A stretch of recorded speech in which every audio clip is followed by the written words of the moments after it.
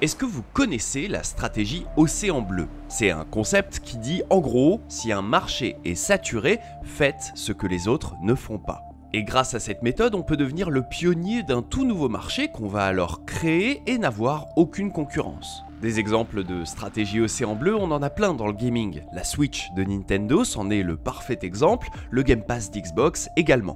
Et aujourd'hui, ça tombe bien parce que notre jeu du jour, il a totalement compris ce qu'était la stratégie Océan Bleu, et il se passe même sous l'Océan Bleu. C'est un jeu qui, pour réussir, va tout faire à l'envers de son concept jusqu'à son développement. Ce jeu, c'est évidemment Subnautica. Retenez votre respiration, on part en immersion. Bienvenue dans un nouvel épisode de JV Legends.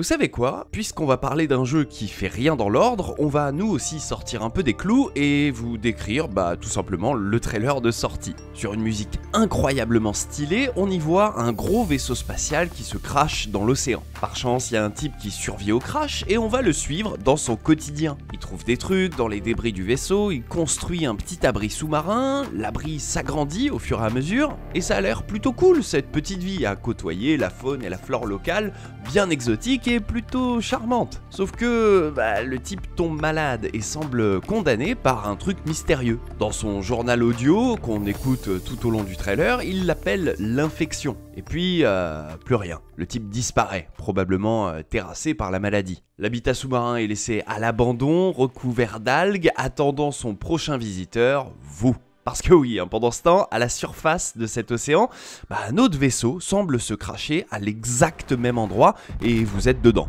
Et voilà, bienvenue dans Subnautica et comme on dit... Euh...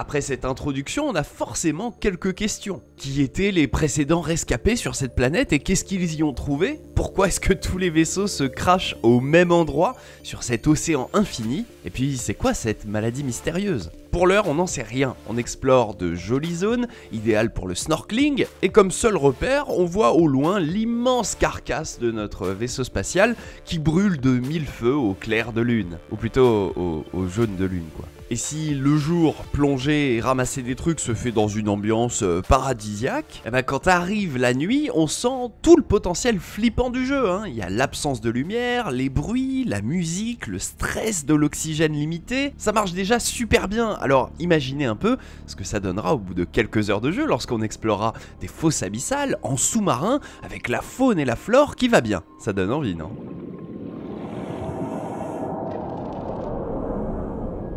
Bon, maintenant que je vous ai pitché ce jeu de zinzin, vous vous demandez peut-être qui sont les génies qui l'ont élaboré et surtout qu'est-ce qu'ils faisaient comme jeu avant ça? Eh ben vous allez être surpris. Le précédent jeu de Unknown Worlds, le studio derrière Subnautica, c'était ça, Natural Selection 2. C'est sanglant, c'est très tourné action compétitive, et mine de rien, c'est un projet qui a occupé le studio pendant 10 ans. D'abord sous forme de mode d'Half-Life en 2002, puis en jeu à part entière en 2012 avec Natural Selection 2. Ce jeu c'était une folie absolue en termes de game design, j'ai adoré y jouer quand j'étais ado, et à ma connaissance, le studio a été couronné de succès pour ça. Alors c'est légitime de se demander pourquoi, avec tout ce savoir-faire et toute cette expertise, ils sont allés faire un jeu mais alors complètement différent et qui n'a rien à voir. Comme ça, d'un coup d'un seul. En fait, il y a trois réponses à cette question. Déjà, après 10 ans de taf sur Natural Selection, ils en avaient turbo marre et voulaient changer d'air. Deuxio, il faut se rappeler qu'à l'époque, en 2012, on est en plein boom de Minecraft, donc ça donne de nouvelles envies aux joueurs, mais aussi aux développeurs. Et puis troisième raison, raison tragique hein, cette fois-ci, quelques semaines après la sortie de Natural Selection 2, il y a la fusillade de Sandy Hook qui traumatise toute l'Amérique. Beaucoup de créatifs ont alors des envies de jeux non violents sur cette période. L'idée des développeurs après tout ça, c'est donc de se lancer dans un projet non violent et super original, un petit projet, rapide à développer, en 6 mois idéalement avec 4 personnes. Le thème est d'ailleurs très vite choisi, ce sera un genre de Minecraft mais aquatique. Et son nom ce sera Descend. Mais spoiler alerte, hein, rien ne va être respecté, ni les budgets, ni les temps de prod, ni même le concept de base ou le nom initial. Rien du tout, et voilà pourquoi. Descend, c'est donc le premier prototype de Subnautica. Dedans, on doit concevoir et crafter des sous-marins modulaires avec des morceaux de submersibles qu'on peut interchanger en fonction de ce qu'on a en stock. Ces sous-marins, ils sont compliqués à piloter, il y a plusieurs postes où il faut se coordonner à plusieurs joueurs pour manœuvrer correctement. Si vous avez déjà joué à Sea of Thieves, vous voyez totalement le genre. Mais là, c'est sous l'eau et c'est extrêmement lent. Il n'empêche que la boucle de gameplay est très vite présente. On va descendre sous l'eau, ramasser des ressources et des plans de craft, et en construisant des sous-marins plus performants, bah on peut descendre plus bas pour choper du meilleur loot. C'est fonctionnel, il y a de l'idée, mais bah on s'emmerde un peu quoi. Et ça, bah c'est d'office un immense problème pour les développeurs. Parce que, on le rappelle, hein, les devs de Subnautica, ils sont animés par le concept de l'océan bleu. Ils veulent vraiment créer un truc tout neuf, une pépite à la fois innovante et originale. Et pour y arriver, ils savent qu'il faut taffer le projet d'une manière audacieuse et pas faire des trucs trop conventionnels, y compris sur les méthodes de travail. Bah genre, euh, tenez un exemple, le premier truc qu'ils vont dev sur Descend, c'est pas le gameplay, hein, non non, c'est le menu principal et une musique de menu. The first thing we did was started with the music, with a song, which you can hear right now.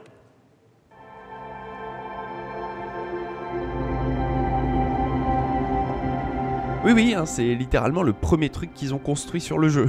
Ça vous rappellera peut-être euh, la petite phrase de David Cage qu'on avait pu interviewer dans notre JV Legends sur The Nomad Soul. Il disait La musique, c'est 50% de l'image. Et ben là, on est totalement dans cet état d'esprit sur le prototype de Subnautica. Dans leur recherche perpétuelle d'innovation, les devs vont aller jusqu'à relier chaque idée de fonctionnalité à une émotion particulière. Et donc, si une idée pour le jeu n'est pas reliée à une réponse émotionnelle, bah on l'abandonne. Au moins, c'est simple. À la base de sa conception, Descend, qui deviendra donc Subnautica, repose sur trois grands axes. Le craft de véhicules, l'exploration et la coop. Et chacun de ces trois piliers de game design fournit de l'émotion. Le craft doit être exaltant, l'exploration doit être frissonnante et la coop doit être stressante. Mais très clairement, lors des premiers playtests, l'un des trois piliers prend vite le dessus sur les autres, c'est l'exploration frissonnante. Le craft de véhicules modulaires, hein, qui permet de construire des sous-marins bloc après bloc, il est vite euh, vu comme un souci plus qu'un avantage. Et en plus, ça rend le pilotage assez saoulant, il faut bien l'avouer. Quant à la coopération en multijoueur, elle va laisser place à une aventure à vivre en solo, ce qui est plus facile à mettre en place évidemment. En fait, au fil des playtests, on se rend compte que l'exploration fonctionne hyper bien sur des joueurs qui sont tout seuls. À chaque zone ou chaque situation inconnue, c'est la panique. Et les développeurs, ils vont jouer là-dessus, en rajoutant par exemple le fait que la pression des profondeurs fasse craquer la coque du sous-marin, ou en faisant en sorte que la paroi des submersibles puisse se fissurer et se percer, faisant alors rentrer de l'eau dans l'habitacle, un peu comme dans Abyss, dont le jeu s'inspire clairement. Et forcément, ces situations bah, fonctionnent à fond sur les joueurs. On tient clairement un truc. Et puis, à mesure que les mois passent, sur le prototype Descend, on constate au studio que les économies commencent à fondre. Il va vite falloir songer à vendre le projet, soit à un éditeur pour qu'il le finance, soit directement au public pour qu'il suive son développement. Le problème, c'est qu'à cette étape-là, le jeu est juste horrible graphiquement parlant. Il faut lui faire un sacré lifting et donc on appelle le directeur artistique du studio pour voir ce qu'il a pondu comme concept art. Et là, boum, chakalaka, une révélation. En fait, le type qui fait les croquis pour le jeu a clairement tout défoncé avec sa proposition de direction artistique colorée et hyper exotique. Il s'est inspiré euh, notamment d'Avatar, et je sais pas vous, mais perso, je trouve ça limite plus réussi que la vraie direction artistique d'Avatar 2, qui se passera justement sous l'eau quelques années après la sortie du jeu. Bref, il n'empêche que les équipes de Descend ont alors un gros problème à cette étape-là. Certes, il faut un jeu bien plus joli que Descend, mais là, l'ADA est juste bien trop belle pour faire un Minecraft aquatique. coller cette ambiance visuelle là sur un jeu où on doit pouvoir détruire des éléments et les reconstruire, sur un monde généré procéduralement et jouable en plus en multijoueur, ça paraît impossible. Mais vous savez quoi? Bah c'est simple, hein, il n'y a plus de pognon dans les caisses, alors on va faire ce qu'on peut avec ce qu'on a.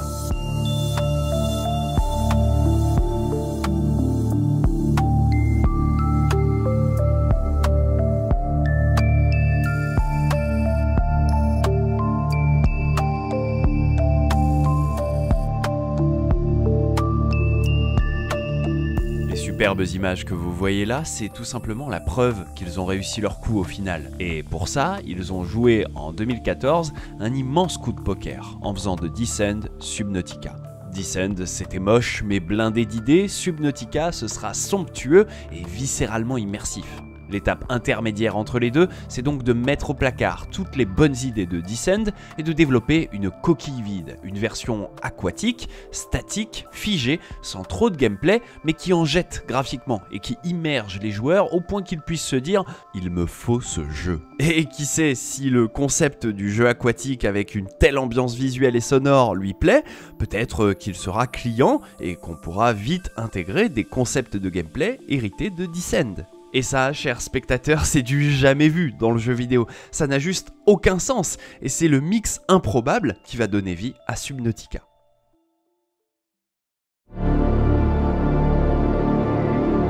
Pas loin d'être fauchés à cette période-là, les développeurs présentent donc leur première version de Subnautica au salon PAX 2014 et font jouer le public dessus. Tout le monde est subjugué par les graphismes et l'ambiance. On le rappelle, hein, il y a un sacré parti pris ici par rapport à la proposition originale. La map est faite main, sans possibilité de terraforming, et c'est un jeu solo. En fait, il faut être honnête, ça n'a plus rien à voir avec l'idée d'un Minecraft sous l'eau. Mais le public est là, et c'est ça qui compte. En réalité, cette présence à la PAX 2014, elle va donner une idée de génie aux développeurs. En fait, ils ont tellement kiffé pouvoir discuter avec leurs premiers joueurs, qu'ils vont à partir de là mettre la communauté au cœur du développement. Il est donc très vite décidé qu'on va vendre la version actuelle du jeu qui s'appelle comiquement Earliest Access. Donc encore plus anticipé que les accès anticipés classiques, tellement il n'y a rien dedans. On le précise, hein, il y a des bugs, il y a quelques biomes jouables, quelques créatures, il y a zéro sous-marin,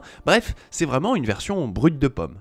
Et une autre super idée à cette étape-là, c'est que les développeurs vont inclure dans chaque copie du jeu des outils d'analyse qu'on appelle de la télémétrie. En gros, chaque copie vendue du jeu embarque plein de trackers qui permettent de savoir en temps réel qui fait quoi, quand et où dans le jeu. Et donc ça permet de savoir comment est-ce que la masse de joueurs avance dans le jeu, qu'est-ce qu'ils vont faire en premier, où est-ce qu'ils vont, comment est-ce qu'ils réagissent face aux difficultés et qu'est-ce qu'ils vont crafter et dans quel ordre. Tout ça, ça va générer une tonne de données ultra utiles pour améliorer constamment le jeu et ça permet aussi de chasser les bugs qui sont rapportés aux équipes hyper vite. Cette approche-là, elle est évidemment géniale et en plus, bah, tout est public et consultable par les joueurs. En fait, à partir de cette étape dans le jeu, il y a une totale transparence entre les développeurs et leur communauté. Vous et moi, on peut avoir accès par exemple au Trello des développeurs, donc à toutes les tâches qu'ils exécutent quotidiennement. On peut voir sur quoi ils bossent et quels sont les projets en cours. C'est vraiment open bar et c'était une première à l'époque. Et d'ailleurs, chaque jour, ils vont publier sur Steam une nouvelle version du jeu que quotidiennement parcourt 20% de la base de joueurs de Subnautica à la recherche de nouveaux bugs ou de nouvelles fonctionnalités. Et puis tous les mois, il y a une toute nouvelle version majeure qui amène un concept fort en particulier. Bref, ça ne chôme clairement pas et le lien avec la communauté est extrêmement fort. Mais au-delà de cette relation de fournisseur à client, de développeur à joueur, le studio va avoir l'excellente idée de se reposer aussi sur les streamers et sur les youtubeurs pour faire leur communication et leur marketing, parce que très clairement, le jeu est parfaitement taillé pour eux. Rappelez-vous, hein, chaque feature amène une émotion, donc c'est idéal pour des créateurs de contenu. Ça fait un playtester gratuit, de la notoriété pour le jeu et des achats potentiels. En observant les streamers jouer, les devs voient des trucs auxquels ils n'avaient pas pensé, du genre euh, cette fameuse seconde d'écran noir là quand on n'a plus d'oxygène et qu'on essaie de remonter à la surface, priant pour ne pas mourir. Ça vous est déjà arrivé, j'en suis sûr, c'est un moment de pression intense dans Subnautica, et eh ben ça, à la base, c'était un bug.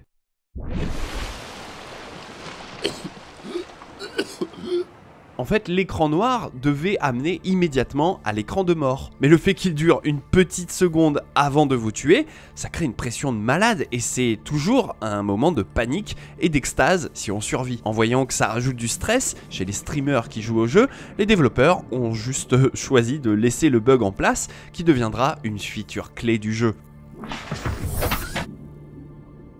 Et on est clairement dans un cas de design par accident, et encore une fois, c'est du génie. À partir de cette période-là, les soucis financiers ne sont plus qu'un mauvais souvenir, le jeu commence à péter sur Twitch et YouTube, et le studio se retrouve embarqué dans un incroyable cycle de mise à jour et de symbiose avec son public. Il faut donc tenir bon, honorer les promesses et transformer l'essai. 4 années de taf sur l'early access du jeu, les équipes d'Unknown Worlds vont donc miser sur leurs atouts, sur ce qui les différencie des autres jeux, pour être complètement dans une stratégie océan bleu, et ce jusqu'à la sortie définitive de Subnautica. Entre-temps, la notoriété du projet a explosé et certains gros youtubeurs comme Jack Skepticeye vont littéralement tomber amoureux du jeu, réalisant une vidéo par semaine dessus. Le plan initial c'est d'en faire 20 épisodes, puis en fait il va en faire 20 autres, puis encore 20 de plus, et au total, à lui seul, Jack Skepticeye a généré plus de 250 millions de vues sur le jeu. Et il n'est clairement pas le seul créateur de contenu à être tombé sous le charme de Subnautica et à suivre son développement comme une aventure à part entière. Il faut dire qu'au fil des mois, le jeu passe à la vitesse supérieure, notamment grâce à son craft, à sa création de base, à ses sous-marins et à son histoire qu'on fait progressivement arriver au fil des mises à jour. En la parcourant, on a comme l'impression de faire face à un jeu qui est organique, dont l'aventure narrative s'adapte parfaitement à nos progrès, ce qui est assez bizarre comme ressentiment, parce que nos progrès, à première vue, ils sont hyper libres. Et oui, hein, forcément, on est dans l'océan, alors qu'est-ce qui nous empêche d'aller là où on veut? Comment est-ce que le jeu arrive si bien à nous cadrer alors qu'on a l'impression d'être totalement libre? Bon, à cette étape-là, j'espère que vous l'avez compris, en réalité, cette jolie map, elle est bel et bien conçue pour vous amener où les développeurs le souhaitent. Grâce aux données amassées, ils savent précisément où vont la majorité des joueurs, à quelle étape du jeu, qu'est-ce qu'ils craftent, à quel moment, et ils peuvent donc équilibrer le level design et la progression pour créer de véritables parcours qu'on ne voit pas. Par ici, vous allez faire avancer tel morceau d'une des sept aventures que compose le scénario. Par là, vous allez trouver un plan pour crafter ce qui vous permet d'aller plus profond dans le jeu. Vous avez l'impression de trouver ça tout seul, hein, mais la réalité, c'est que vous êtes sur un chemin super bien balisé. Chaque palier de profondeur amènera un type de loot et de plan particulier, un type de schéma pour construire tel ou tel équipement, et on contrôle donc votre progression de bout en bout jamais vous montrer la laisse. Subnautica, au fil des années, est devenu une masterclass de level design et de game design.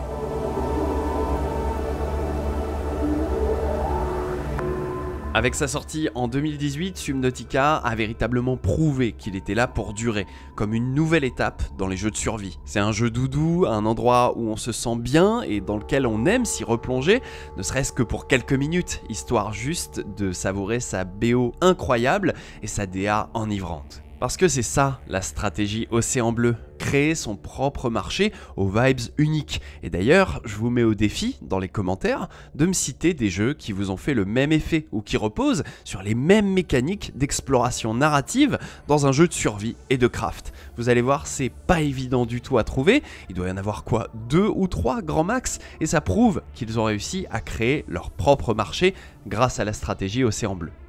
Il n'empêche qu'avec tout ça, en faisant un jeu de survie non violent, en sortant une coquille vide qu'on va développer ensuite, les développeurs de Subnautica ont toujours fait tout à l'envers et ça leur a réussi étonnamment. Aujourd'hui, le jeu est considéré comme un succès total hein, et compte euh, bien plus de 100 millions de dollars de revenus, rien que sur Steam. Il a eu droit à une suite, Subnautica Below Zero, et puis, euh, comme les devs adorent passer du coq à l'âne, leur jeu d'après se nomme Moonbreaker, et c'est de la bataille de figurines à peindre en early access, évidemment, ça ne s'invente pas. Quand on écoute les développeurs parler de leur expérience sur le jeu, ce que j'ai dû faire pour rédiger ce JV Legends, on sent bien que Subnautica les a élevés à un nouveau rang, qu'ils ont appris à vivre en symbiose avec leur communauté, qu'ils ont su débattre et discuter. Pour eux, faire un jeu en développement ouvert de cette manière, ça leur a permis d'offrir deux fois plus de divertissement et de spectacle aux joueurs. Il y a le divertissement du jeu et il y a celui du développement. C'est comme aller au teppanyaki pour voir un chef cuisiner un repas, il y a le plaisir des papilles et celui des yeux.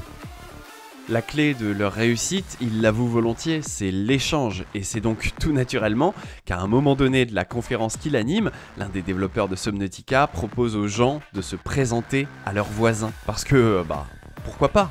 Would you please take a moment and introduce yourself to your neighbor? Et ça dure longtemps.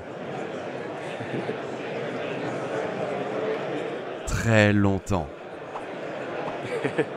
Décidément, Unknown Worlds, ils font rien comme les autres. C'est la fin de ce JV Legends dédié à Subnautica. On espère qu'il vous a intéressé comme tous les autres de la playlist dédiée et disponible sur YouTube. Si vous avez apprécié ce format, n'hésitez pas à vous abonner à la chaîne YouTube de JV, ça coûte rien et ça nous aide beaucoup pour le référencement des épisodes. Merci à toutes et à tous et à dans deux semaines pour un nouvel épisode de JV Legends.